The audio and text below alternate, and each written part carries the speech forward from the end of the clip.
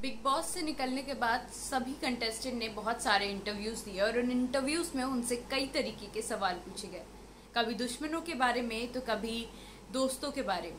ऐसे में शिव ठाकरे ने अपने दोस्त एमसी स्टैंड के बारे में क्या बोला, ये जानते हैं। मेरे साथ यानी अडमा के साथ ओनली ऑन चली खजाना शिव ठाकरे से एक इंटरव्यू के दौरान कई क्वेश्चंस किए गए। उसमें से सबसे पहला क्वेश्चन जो था, वो ये था कि अगर अर्चना इस शो का हिस्सा नहीं होती तो आपकी जर्नी कैसी होती? द मोस्ट एक्सपेक्टेड आंसर जो हम लोग इमेजिन कर सकते हैं वो ये हो सकता था कि स्मूथ होती। लेकिन उन्होंने ऐसा जवाब नहीं दिया। उन्होंने ये बोला कि अगर अर्चना इस शो का हिस्सा नहीं होती तो शो बहुत ज़्यादा बोरिंग हो जाता। कोई मस्ती मज़ाक नहीं रहता एंटरटेनमेंट नहीं रहता। तो ये देख के बहुत अच्छा लगा जनता को और हम सबको बहुत अच्छा फील हुआ कि किस तरीके से शिव ठाकरे को इस चीज़ की एक्सेप्टेंस है कि अर्चना इस पूरे शो की एक एंटरटेनमेंट पीस थी। इसके अलावा शिव ठाकरे से एक और क्वेश्चन पूछा गया। वो ये था कि एमसी स्टैन ने कई बार औरतों के ऊपर बहुत गलत सलत कमेंट करे हैं, लेकिन आपने उनसे कभी भी उन चीज़ों के लिए नहीं कहा। एम सी स्टैन कई बार स्मोकिंग के लिए प्रियंका को बोल चुके थे कि लड़कियों के स्मोक करती है, ये बोला। उन्होंने कई बार ये भी बोला कि मैं औरत से झगड़ता नहीं हूँ।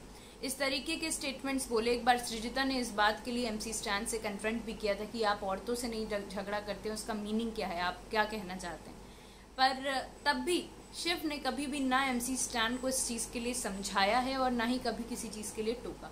इस क्वेश्चन को सुनने के बाद शिव ने बहुत ही डिप्लोमेटिकली इसका आंसर दिया और उन्होंने बोला, कई बार ऐसा होता है कि हर इंसान अलग अलग तरीके का होता है।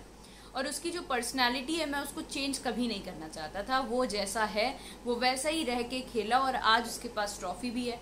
अगर ऐसा कुछ कमेंट उन्होंने किया था और लोगों को बुरा लगता तो ट्रॉफी उनके पास नहीं होती।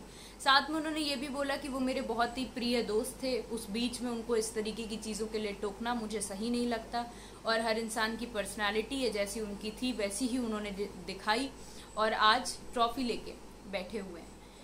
और साथ ही में उनसे खतरों के खिलाड़ी के लिए भी पूछा गया। निमृत के साथ काम करने पे भी क्वेश्चन पूछा गया कि निमृत का और आलिवालिया के साथ आपको कोई म्यूज़िक वीडियो का ऑफ़र आया है क्या? जिसके आंसर में शिव शिव ने बोला कि हाँ उनको कई सारी वीडियोस का ऑफ़र आया, लेकिन वो बड़े नाम का वेट कर रहे हैं और कुछ बड़े नाम भी लिए, जैसे उन्होंने बोला अरिजीत सिंह, साथ में नेहा कक्कर बादशाह, इन तीन लोगों के नाम लिए और बोला कि अगर इनमें से कोई हमें अप्रोच करता है अपनी म्यूज़िक वीडियो का हिस्सा बनने के लिए तो हम ज़रूर हम साथ में म्यूज़िक वीडियो करते हुए नज़र आएँगे।